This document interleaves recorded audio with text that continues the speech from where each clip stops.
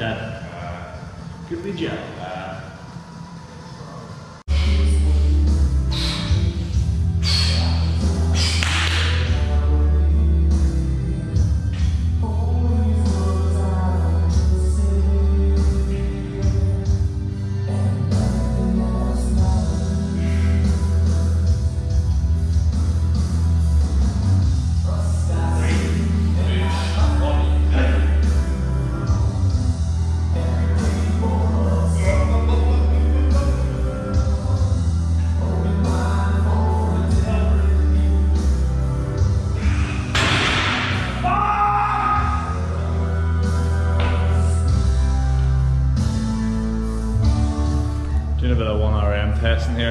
Failed the bench press for 9 irons, 122 and a half, but shit happens. Doing a deadlift here as well, but going to really come back to doing deadlifts after a bit of an injury, so if I lift anything here, it's a, it's a positive. Not about the bench, so Burpell's going for his box squat. Looking for the record.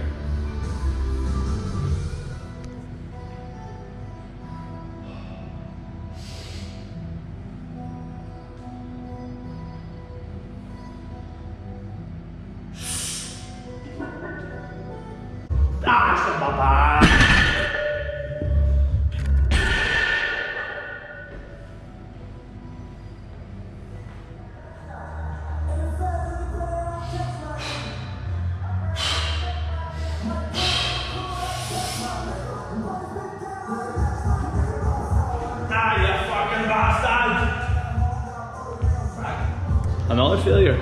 It's been a productive morning. Strong.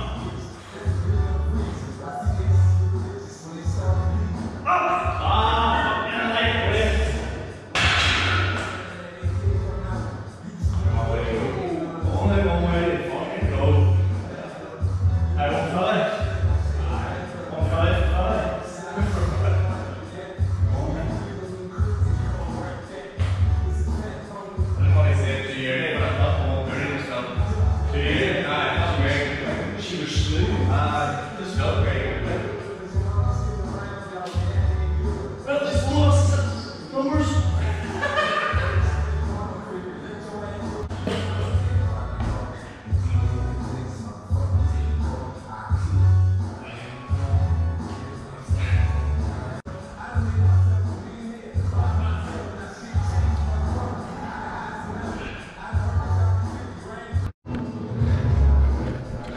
50 big ones.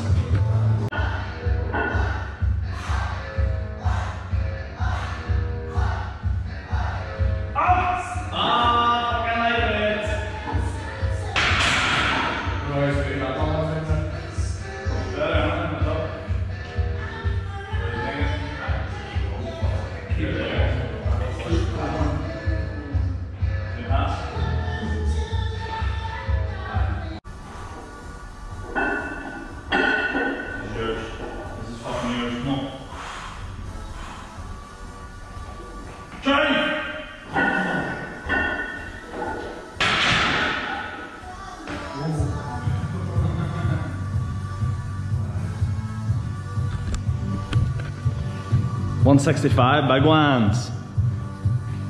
You done? And call there. Oh yeah, on the board.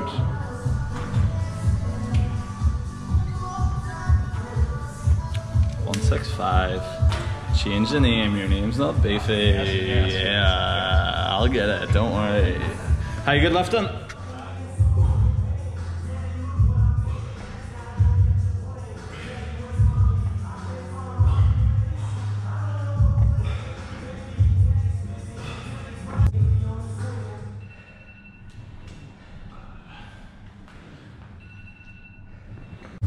You haven't tried those uh, ab rollouts before, try them. They're a tough one. Just had a bit of arms, a bit of core to end there.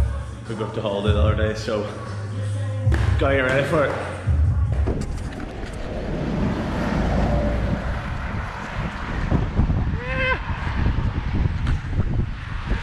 Back from uh, back from that session there, um, I had a bit of coaching that morning as well before before Aaron came in. We done a bit of training. My training was pretty bad there today. Well, say bad. I missed those kind of bigger lifts. I haven't had them before.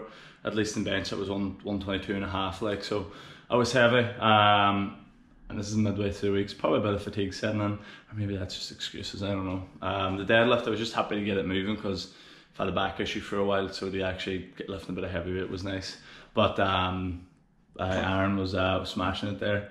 165 in the box squat like is it's big lifting. It's the biggest we've had in the gym, and um, for him, like he's came started training here in June and didn't really do anything before that. Like, and the amount of work he's put in and, and how much he's grown, you know, in terms of the gym, like, and and uh, his physique and all has changed so much. It's it's class, like, and um, it's nice to see it paying off for people to put in the work, like, and now um, coaching later on, surprisingly enough. Um, but right now, you're gonna get some food Gonna go for a chicken omelette, switching it up here today. And lately I've kind of evolved into a Instagram storyteller. Instagram, why do you spend so much time in and then they crop out the center? The problem with that is though, you're gonna miss things. Gonna, I don't have that life. I don't have money and I, and I play with that sometimes. Soylent. Mundane things, walking, drinking space food, and so it's not all just bunched up into one cluster. You want